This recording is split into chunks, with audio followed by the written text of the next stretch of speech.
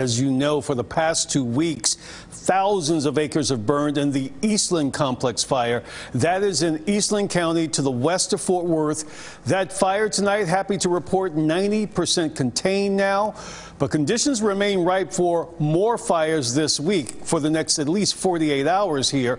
Our Nick Starling, he headed to Parker County earlier, where it was another busy day for firefighters. Heat mixed with wind and dry conditions is a recipe which concerns fire officials on a day like this. Very dangerous. Flames near Peaster caught a house on fire. We're told it's a total loss. We spoke with the homeowner's brother.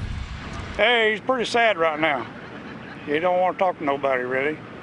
You know, it's just mind-boggling. You know, when you don't have insurance in your house, Mark, it's it's it get to you. Fire crews here quickly identified the cause. Come to find out it's from an illegal burn out of a burn barrel. We are currently in a burn ban for up to 60 days, potentially longer.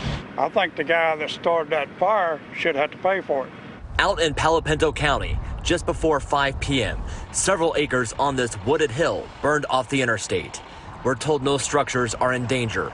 Fire officials here still determining what sparked this one. When there's a red flag warning and a burn ban, it's illegal to burn anything outside. If you do start a fire causing damage to someone else's property, you could be charged with arson under state law. If we are in a burn ban, don't burn. And I know people want to go out and they're accustomed to burning here all the time, and every time it happens, the unexpected happens. So the little, little ember takes off, and we have a, a disaster. Leaving many people without homes to no fault of their own. I mean, they got fires everywhere, you know. Look at Eastland, look at that L fire down there, you know. Yes, sir. Yeah, it's, it's something else. In Parker County, Nick Starling, CBS 11 News.